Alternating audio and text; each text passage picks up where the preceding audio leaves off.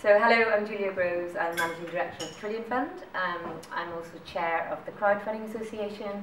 I'm on the board of Move Your Money and I'm the Director of Loco2 um, with Jamie in the back. That's the pan-European rail booking engine. European Rail made easier, www.loco2.com. Thank you very much, for Taylor. So I'm going to talk about crowdfunding as a solution to democratising finance and decentralising energy. And yes, people do take the piss and say that's a slightly lofty ambition, but really we feel in response to Duncan's stuff, the two go hand in hand um, and they really can't be separated. We're very happy to just raise a nice big chunk of money from the very mad and rather glorious Vivian Westwood, who is of the same view um, that we can the two together, otherwise we're going to get absolutely nowhere. Um, I'm not going to do the slides. I was going to just show you a quick animation, if that's okay. We just finished it last week. I've never shown it to anyone before. It's probably a bollocks. Um, but I thought I would show it to you guys, and maybe then it's got two seconds of feedback later. Please tell us. We're trying to find a way to explain what's quite a complicated concept very quickly. let's give it a whirl. We're all looking for ways to make our money work harder, to beat inflation and generate better returns. And that's not easy. The high street banks, bruised by the financial crisis, offer poor returns and you might get the feeling that they're not nearly as interested in looking after your money as they are their own. Meanwhile, the big money gets access to investment opportunities many of us never see, notably investments in building energy infrastructure. Any way you look at it, energy investments can make sense. Demand for energy is soaring and shows no sign of slowing down. At the same time, those annual energy price hikes on your utilities bills are a sure sign fossil fuels are getting ever more expensive. But wind, solar, hydro and biomass energy production costs are typically falling. So where do you think the smart money is going? Some investors are putting their money into renewable energy infrastructure, power generation projects that are environmentally sustainable. So, isn't it time everyone had an opportunity to get a slice of the clean energy pie? That's where Trillion Fund comes in opening up sustainable energy investments to a broader investor base, and in doing so, speeding the planet's transition to a low-carbon economy. Whether you have 100 or 100,000 pounds to put to work, whether you're thinking about your pension or how you can make a difference, Trillion Fund is a place to connect with sustainable energy infrastructure projects so that all of us could profit from an energy revolution that could be good for your bank account and for the planet. Join the Trillion Fund community today to become a part of this extraordinary movement and do things better, together. Trillion Fund, crowd investing for our future.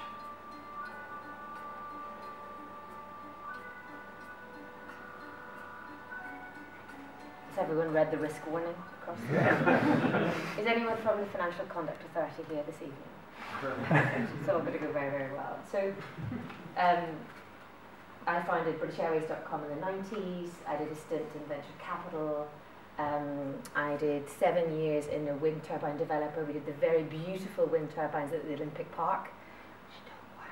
um, and then I had to go into solar for two years for some therapy because I work in demand generation. I like to make people want things. I like to raise money and do the sales and marketing. I'm not the techie, you've worked that out already.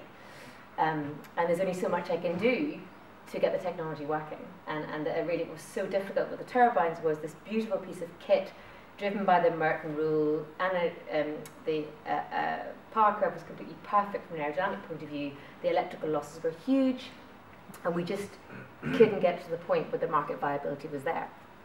But we were there at the time of greenwash. We were there at the time when Sainsbury's and Marks and Spencer's and Rolls-Royce and DEFRA and everyone was desperately trying to look green. And in some ways, it was easier to persuade people about the issues from my experience back in 2005 than it is now. Because it was new then, it was exciting, lots of big numbers, lots of shiny things going on. I think people are really kind of disappointed and we've, we've, we've gone almost backwards in some ways. And from a communication point of view, that's a very, very big job we've got to do to try and get people engaged again. Um, so I did six or seven years in wind, two years in solar because actually it did what it said on the tin.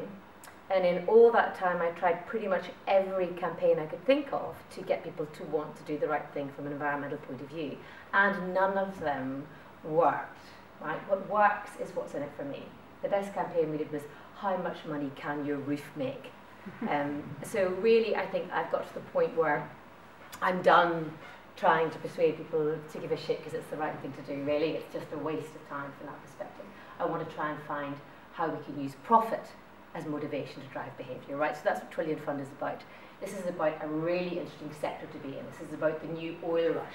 This is about the returns which used to go to the venture capital trusts and the EIS funds who made a mint out of this, just to be clear, over the last three or four years. And the reason I jumped from Engensa, which was the solar company, to Trillion was the feed-in tariff dropped from 43p down to 21p, down to 16.8p, and you've never seen people move faster out of the market from that point of view. But at that point, this was a mature technology. This does what it says in the tin. There are no moving parts. The sun is free. The operating costs are very low. You can insure against losses. This is a much more mature, established technology than it was at the start. So whilst the returns have dropped down, the risks have dropped down at the same time, and there's still a really solid risk-adjusted return available in solar. It's just it's no good if you're a VCT. You're trying to get 11, 12, 13%. But it's bloody good if you've got 100 quid and your only option is to put your money into the Derbyshire Building Society and get a 1.8% interest rate when inflation is above that level. So we're trying to solve two problems at the one time. We're trying to find a way to draw new capital into renewable energy projects purely motivated by profit. And we're trying to find a solution to the man in the street whose level of satisfaction with banks has never, ever been higher. And there is a wave of innovation coming through. We think we're very close to an inflection point. I am an ambulance chaser. I like to be the first person behind the opportunity. That's what BritishAirways.com was about in 94. This is another big move, the fintech move from our perspective. So what we think we're going to see happening is sufficient choice and innovation coming through in financial services at a time when the satisfaction with the banks is so high that that starts to push people over the edges, and that's our bet. So, yes, saving the planet, bringing down the banks at the same time in the next five years. Who wants to come so I was going to do a quick um, walkthrough. You probably all know masses about crowdfunding already. Yes, so uh, raise up your hand. Can I give a see of hands if you have invested by crowdfunding? Wow, you lot. And, and has anyone actually been involved in any part of building or growing crowdfunding businesses? Yeah, perfect. you have. Correct. So just a quickie walk through and then there's questions at the end. There's no way I've got 20 minutes of content. That's just not going to happen. So um, it's a very simple idea, of course. I mean, it's the idea that instead of having 10 high net worth investors giving you £100,000 each, you might get £1,000 from 1,000 investors, no more sophisticated than me. And it did come from the creative industry, and it was originally donation based. Obviously, you got your t shirt or your name in the credits, etc. I think 10% of the films at Sundance last year were crowd funded. But it's now becoming about the crowd investing. Um, and in the UK, there are both debt and equity crowdfunding platforms, which means you can raise money for your business, whether you're pre or post revenue, and whether you're large or small.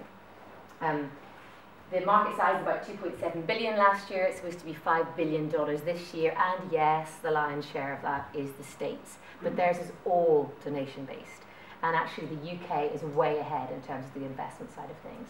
So we hope that the Facebook for finance is going to be a Brit-based company rather than American from that point of view. Um, we're sized at about 500 million now if you include the peer-to-peer guys, and our close cousins from that point of view, and growing very, very rapidly. And we're poised to really head in one of two directions. And I think the really critical thing in where the market goes is, I'm afraid, the regulation. Um, the Financial Conduct Authority, or the Financial Services Authority, as it was in the summer, came out and said that crowdfunding was really only for what they call sophisticated investors. Because as we all know, if you're rich, that means you're clever. And if you're poor, you're thick. Um, I come from Northern Ireland, which is a grammar school system. So you only go to public school if you're thick and your daddy's rich. Um, and I think there's some parallels here because just the idea that because you don't have money to invest means you can't understand something as direct and as simple as crowdfunding is kind of abhorrent. So the reason I started the Crowdfunding Association is we want to keep the crowd in crowdfunding. This is about financial inclusion.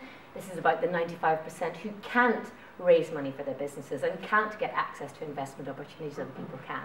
Not the 5% who can and still pay less of the cost when things will go horribly wrong. So the key thing I think, and one of the one of the arguments we try and use with the FCA to try and help them understand that crowdfunding is about the crowd, is that this is not some complex derivative. This is not investing through independent financial advisor into a bank, into a pension fund, into another entity. I mean, it's very true to say about the pension funds. They are buying up renewable energy assets like there's no tomorrow. Um, so Octopus sold 45 million to RBS, um, PIC bought 50 million from solar power generation, uh, HomeSun sold their entire portfolio to Aviva. These guys know a good thing when they see it. And you're looking at a massive asset producing revenue, quite often index linked if they're done on a fit basis, growing year on year, which is solid and low risk and a great return. And what we're trying to say is the opportunities which the pension funds are buying up and the opportunities which the VCTs have been investing in for the last three or four years, merrily making a fortune, are really good opportunities for the retail market and very appropriate for use there as well. And that's really what Trillion Fund is about. Um, because the investment amounts are so small, I mean, it's 20 quid. I mean, abundance generation is five pounds. So most of us can afford to lose five pounds. Um, and the idea is that you can go in and you can try something without having to be massively intimidated by the whole world of financial services. I'm very new to it. I've just sat my exams. Um, I spent an entire day researching bonds and then went, it's a loan. It's taken me a day to work out. It's a freaking loan. It is not as hard as it looks. They want you to think it's hard. That's how they justify their existence. We've been here before. So there is a fair amount of institutional pushback already to what we're doing, even when we're a very small size. Um, but uh, the interest in the area is massive. So I'm supposed to be in a meeting with Vince Cable, but you're all lovely. So it's going well. Um, Harriet Harman, Ed Davey, um, Ed Vaizey, Uh, there's all the politicians are involved and are very interested. We're going to see Cameron in a couple of weeks' time. I saw the chair of the Financial Conduct Authority last week. He looked at me like, who is this person who's walked into my space? But it's such a hot topic, and people are really, really ready for change. And I think what people recognise is the banks don't have the will or the way to provide the finance which SMEs need for growth, and SMEs are the future of the economy in the UK. So on the one hand, we've walked into a space, we've walked into a void that the banks have left, and because the retail banking sector isn't fulfilling it, this is a great opportunity for us to do it, and energy is a really good sector to do it in. So um, I think the, the key thing for anybody um, interested in actually using crowdfunding is it's not just about the money that you can raise. It's not really an easy option. Well, it's easy compared to going to NatWest and talking to their very stupid business lending manager who has no clue about business and you want to strangle after 10 minutes. Um, but it's not just a question of putting your hand up and going, Hi, I've got a sexy thing, would you like to invest? Because the crowd will love you or they will kill you from that point of view. And if you put a raise up there and you don't raise the money, you have to kind of ask yourself the question was it the pitch that I got wrong or is it the product that sucks? Um, and if you do raise the money, it's a pretty good indication for multiple reasons you're on the right track. It's, it's a curious audience, it's a form of test bed telling you what they think. And when you raise that money, you kind of get a buzz of the feeling of backing at the same time, and you know you've got a gang of people, the crowd, who are really behind you um, from that perspective. So I'd encourage everyone to have a go if you haven't had a go already. Um, I think the message for us is, you know, we don't need huge, complex, too big to fail institutions to get involved in the process. Um, this is just human to human, project to project, people to people, peer to peer. Um, and I think that we can cut out so many of the fees and we can add so much on the transparency and we can create a connection between people and where their money goes. Because I think that's what the satisfaction is about. I think it's about the older days thinking you put your money into a bank and there was like a little bit of gold powder which represented your money sitting in a vault somewhere. Whereas in fact you put your money in and as soon as you put it in it goes out to somewhere else and you have no idea where that money is going. And if it's your pension, you know, if you're lucky it's PIC or Aviva going out and buying solar plants in reality they're doing the very, very opposite of that.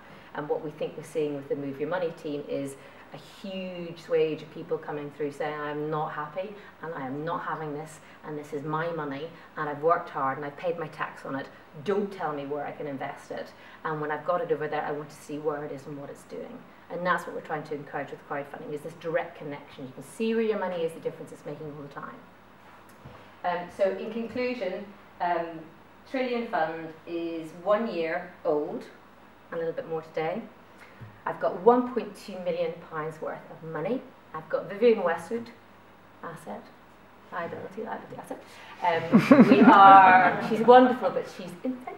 Um, we're sponsored by Ottolenghi. We've got a huge number of celebs behind us because I'm sorry, celebs work, so it's got to be done.